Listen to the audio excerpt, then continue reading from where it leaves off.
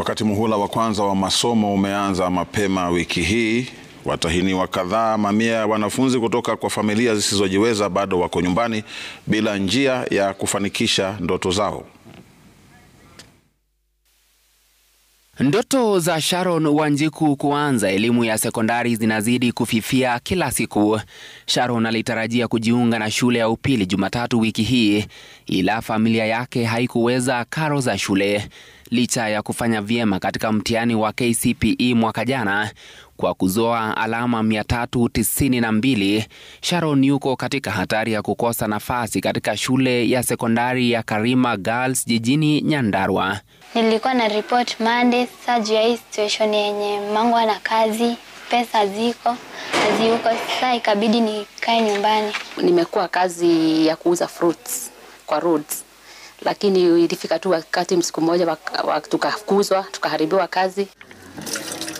Hali sawia inashuhudiwa katika eneo la Fuatanyayo mtaani South B, Nairobi.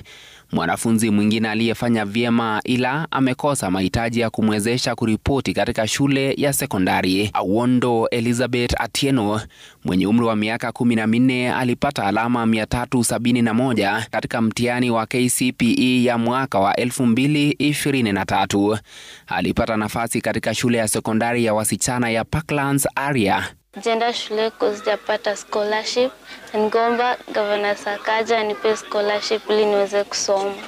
Huyu ni mtoto wangu wa saba kwa familia yangu, niko mtoto wa nane na yeye kwa hao watoto wote ndiye amepata alama mzuri kwa watoto wangu wote. Katika eneo la Laki Sama, eneo la Kasarani, ni Stella Nduko aliyezoa alama 370. Hata hivyo, mzigo mkubwa wa kifedha unasimama kati yake na ndoto zake.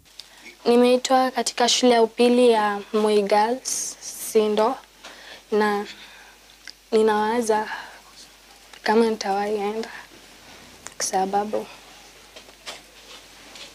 mam hawezi toboa na karo ya shule.